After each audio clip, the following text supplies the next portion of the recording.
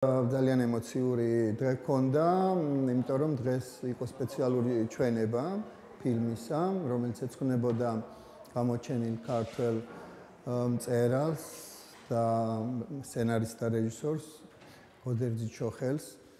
ფილმმა მოიტანა ძალიან დიდი სითბო აყურებელთან, პირადად ჩემთან.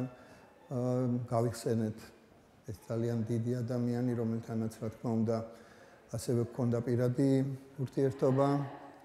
ბედნიერი ვარ ამის გამო, რომ ბოდერძის ვიცნობდი პირადად და მასთან მქონია საუბრები და აი ამდენი წლის შემდეგ უკვე სულ სხვა თვალით დაგვანახვა ამ ფილმმა ბოდერძი.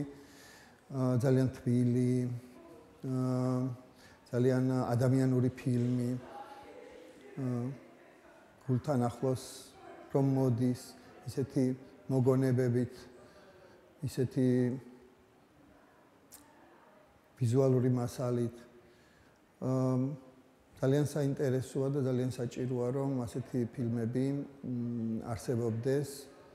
იმიტომ რომ არიან რეალურად ჩვენს გარშემო მართლაც დიდი ადამიანები რომლებსაც ვერ ვამჩნევთ არ ვაფასებთ და ამ ადამიანების სახელისთვის მათი საქმეებისთვის ესეთი ნამუშევრები ვფიქრობ რომ ძალიან მნიშვნელოვანია და ძალიან საჭირო წარმატებები მინდა უსურვო მარიამს მის ფილმს, შემდგომი ნაბიჯები ყოფილიყოს წარმატებული და დარწმუნებული ვარ, რომ ასეც იქნება.